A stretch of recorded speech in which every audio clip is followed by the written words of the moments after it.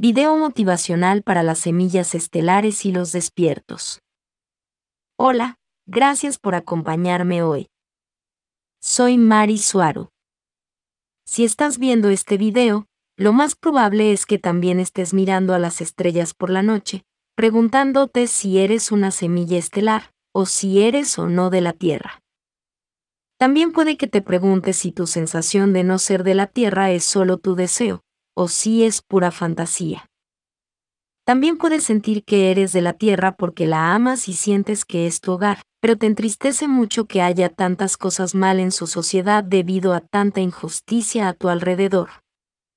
O puede que te sientas completamente de otro planeta muy lejano, donde tu sentimiento interior te dice que tu verdadero hogar está allí, mientras que te sientes completamente fuera de lugar en el planeta Tierra la energía allí es densa, y fácilmente te sientes abrumado mientras absorbes involuntariamente la energía de todos los que te rodean y del entorno. Se mezcla con la tuya, creando un sentimiento caótico muy dentro de ti, que no deseas, y te dan ganas de huir y envolverte en tu escondite favorito. Puede que sientas que estás solo o sola, que a nadie le interesa las mismas cosas que a ti y que tus amigos y familiares te critiquen constantemente por pensar y ser diferente. A veces te hacen dudar de tu razón para que sientas que realmente te pasa algo, y a veces en otros casos, incluso quieren llevarte a terapia, para que te normalices. He llegado a descubrir que lo único que es real en ese mundo, eres tú, quien está pensando y observando. Si sientes que eres una semilla estelar, si tienes ese conocimiento interior y el miedo de lo mal que podrías sentirte si no fuera verdad, entonces eres una semilla estelar. Es algo que simplemente sabes muy dentro de ti, y nadie puede argumentar lo contrario. Puede que no te entiendan, o puede que argumenten que no hay pruebas, como suelen hacer, o simplemente te digan que te han conocido toda la vida. Puede que incluso te hayan visto nacer allí, argumentando con ello lo equivocado que estás fantaseando con pertenecer a las estrellas, o incluso con ser un extraterrestre.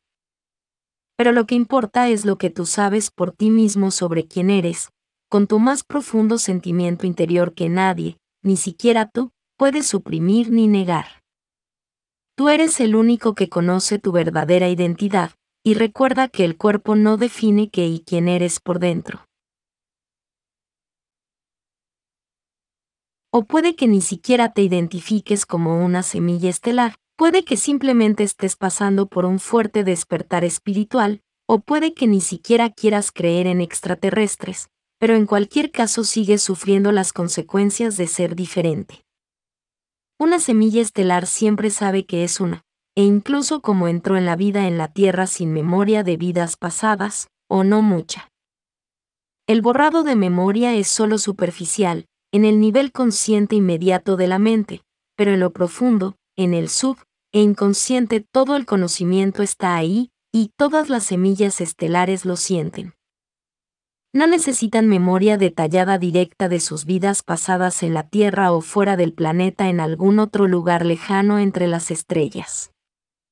No tener recuerdos de vidas pasadas es parte de vivir en la Tierra, y esto puede incluso no aplicarse a todo el mundo ya que hay innumerables personas que sí tienen vidas pasadas y recuerdos estelares fuera del planeta en un grado u otro. Lo que es importante es que tu conocimiento interior te diga quién eres. Después de todo, cada alma que vive en la Tierra y en cualquier otro lugar, es una semilla estelar, incluyendo a todos aquellos que ni siquiera entienden el concepto. Sé que la vida es dura en la Tierra, he estado allí, pero elegiste ir allí voluntariamente porque sabías que podías hacerlo porque confiabas en ti mismo para ser capaz de seguir adelante con el desafío. Como expliqué en mi video, mismos eventos, diferentes significados lado físico o espiritual, el sufrimiento y las dificultades en la tierra se ven de manera diferente desde fuera, desde el mundo espiritual, y desde la perspectiva de otras civilizaciones.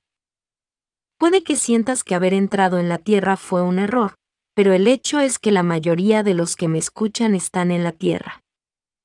Sé que duele, sé que pueden sentirse incapaces o incluso débiles, ya que deben enfrentarse constantemente a todas las dificultades y a toda la injusticia que hay allí, pero son muy fuertes. Y ser empáticos y sensibles a todo tipo de energía es un signo de fortaleza, porque significa que tienen una conexión muy fuerte con la fuente. Recuerden que son la fuente.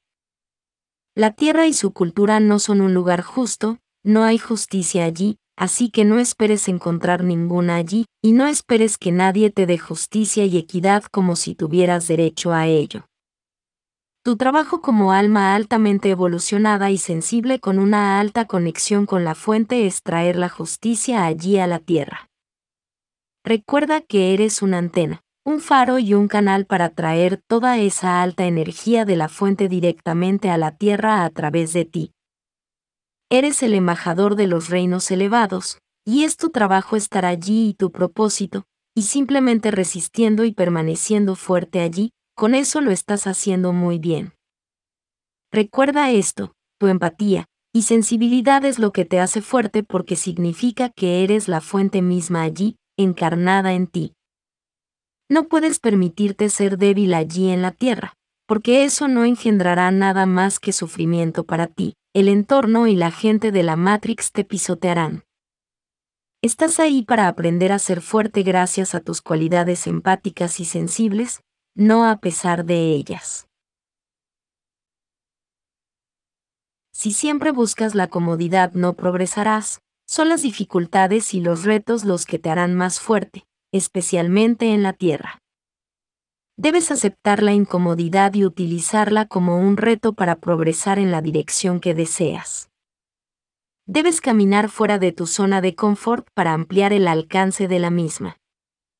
Si eres incapaz de estar fuera de tu zona de confort, cualquier cosa y todo lo que esté fuera de ella te molestará, pero si te enfrentas a retos fuertes, verás que eres perfectamente capaz de resolverlos, y con ello, tu autoconfianza crecerá, y verás lo que antes te molestaba solo como pequeñas cosas sin importancia y sin efecto sobre ti.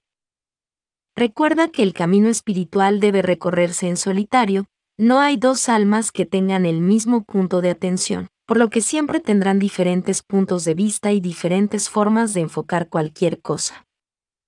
Sé que muchas veces querrás compartir con todos los que te rodean lo que has aprendido, pero recuerda que no todos están a tu nivel, y compartir demasiado con ellos solo puede traerte mucha frustración.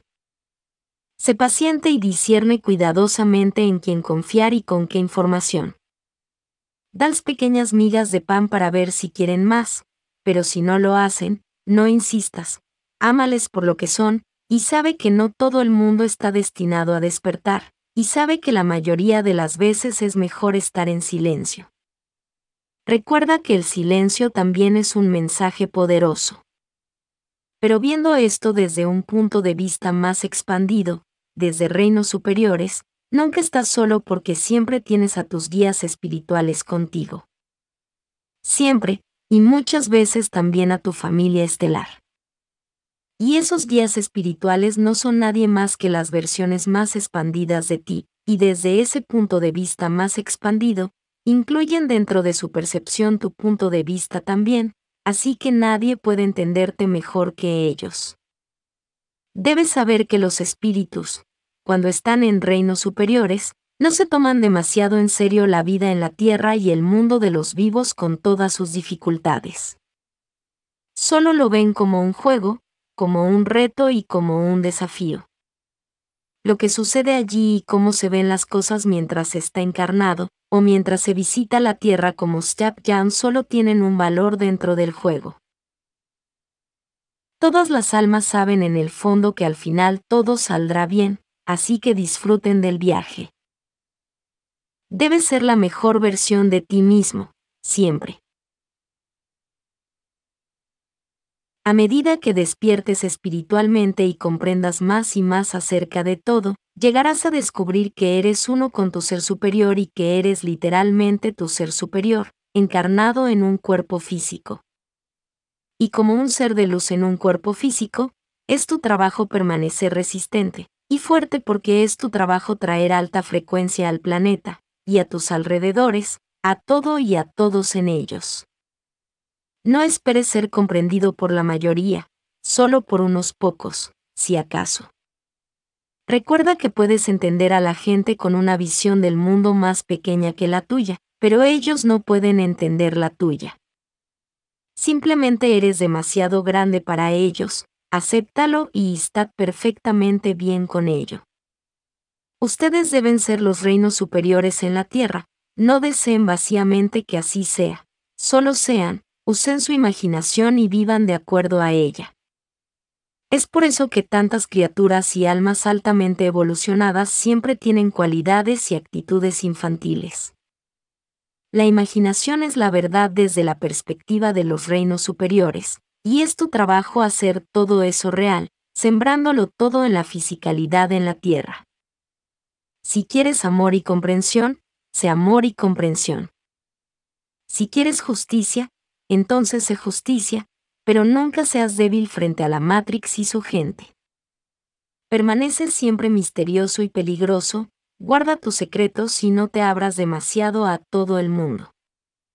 Recuerda que no tienes que conformarte con lo que la Matrix espera de ti cuando sabes muy bien que tu ética y tus normas morales son mucho más elevadas que las de aquellos que pretenden que obedezcas las suyas. Aprecia tus cualidades empáticas y ama tu sensibilidad, eso es lo que eres. Recuerda que no son debilidades, son tus puntos fuertes. Protege tu energía como creas que es mejor para ti. Utiliza cristales y amuletos si quieres, son útiles, pero eres tú quien les da un significado y un propósito. Ten en cuenta que puedes ver tu próximo reto como algo a lo que temer o como algo molesto de hacer, o como algo que superar y que te hará sentir capaz y grande después.